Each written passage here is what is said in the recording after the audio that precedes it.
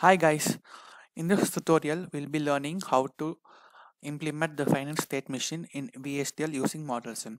So before uh, uh, knowing how to implement the final state machine in uh, VHDL, I would request you to study this article so that you'll get to know the basics of uh, FSM and how it works. So let me just give a brief introduction about FSM. So this is not this is an FSM diagram like this is a state diagram. FSM stands for finite state machine. So as the name itself suggests, it's nothing but it has a finite state. So all these green circles are the states. So A, B, C, and D are the states. And this arrow pointing towards A is nothing but this arrow represents the initial state. So an, an initial value for the fin uh, for the finite state machine. So when a particular input is given, it changes its state.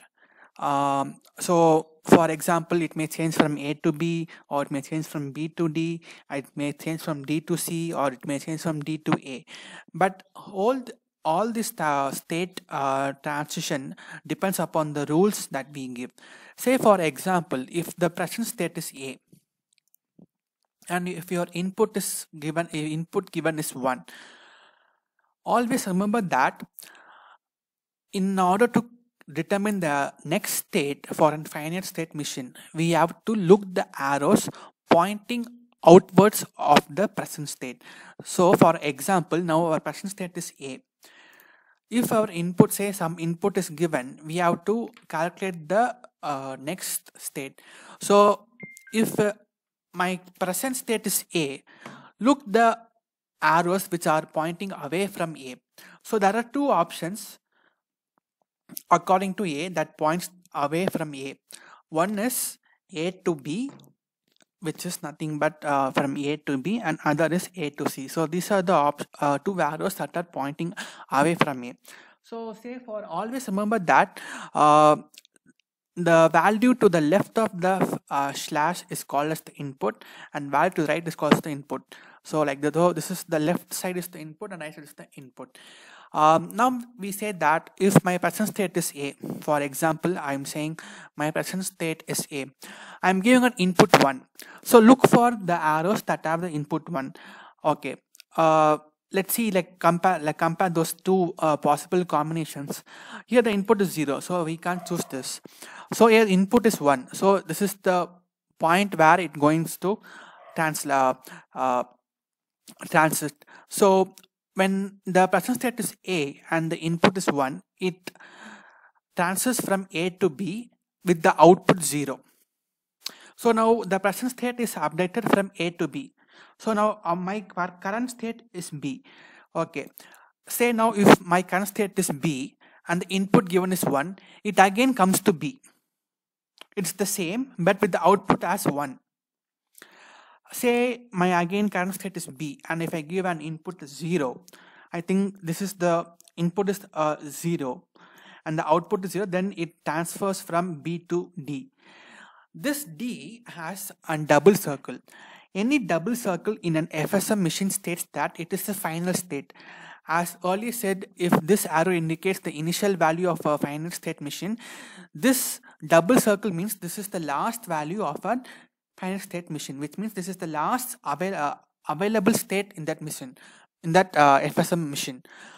Now, if uh, my say, I'll give another example. If my current state is D and my input is zero, so we have two possible combinations for D. Either it's this arrow or this this arrow.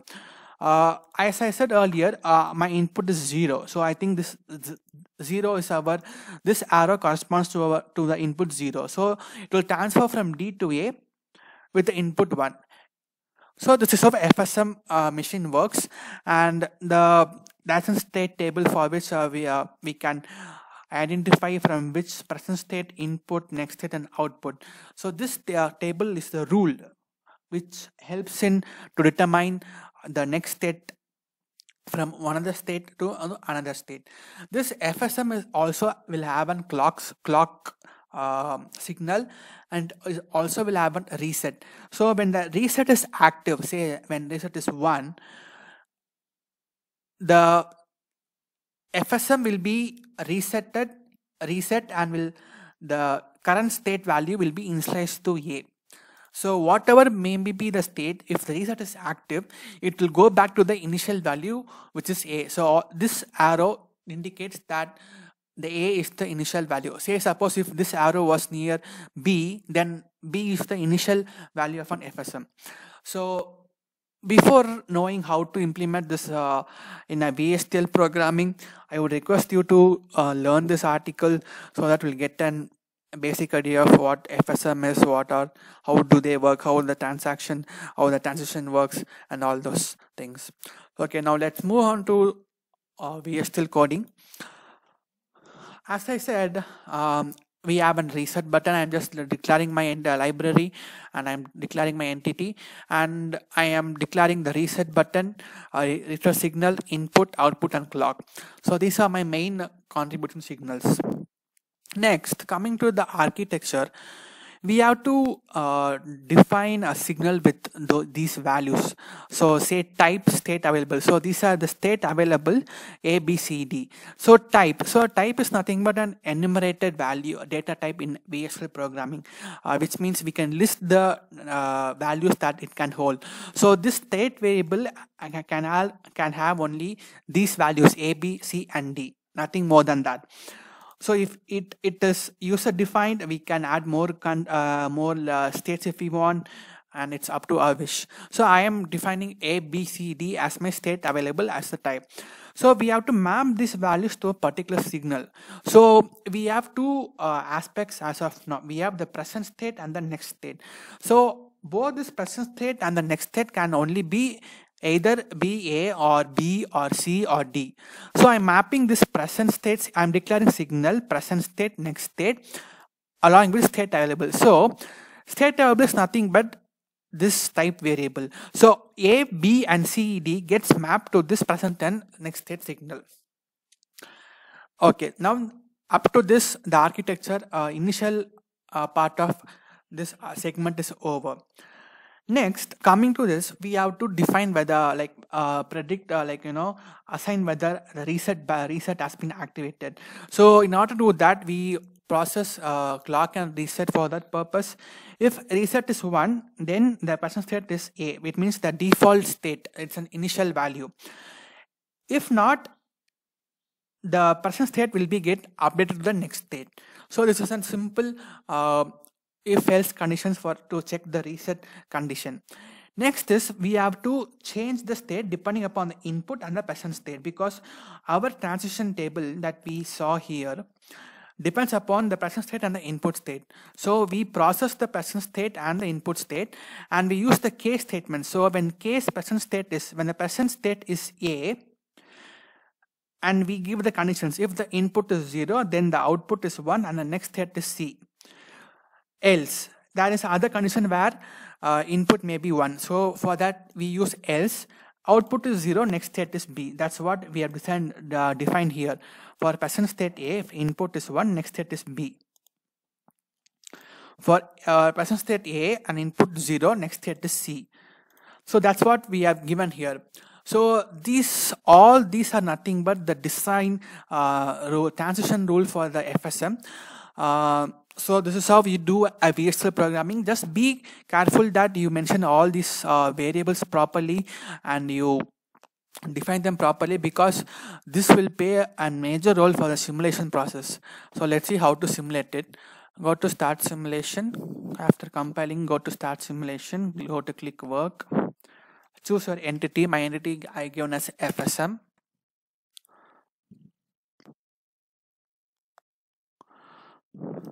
Click add wave.